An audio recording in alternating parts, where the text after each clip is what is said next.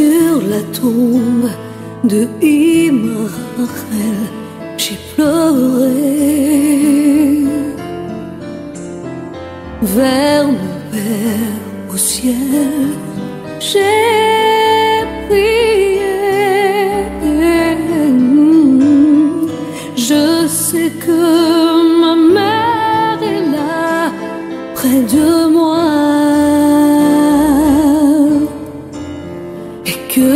sa sila.